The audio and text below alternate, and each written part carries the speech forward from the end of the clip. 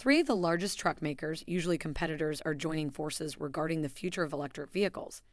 Daimler Truck North America, Navistar, and Volvo Group North America are leading a new coalition called Powering America's Commercial Transportation, known as PACT.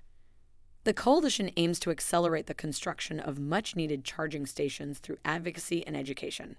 According to the International Council on Clean Transportation, nearly 700,000 chargers will be essential nationwide for zero emissions, medium and heavy duty electric trucks by 2030.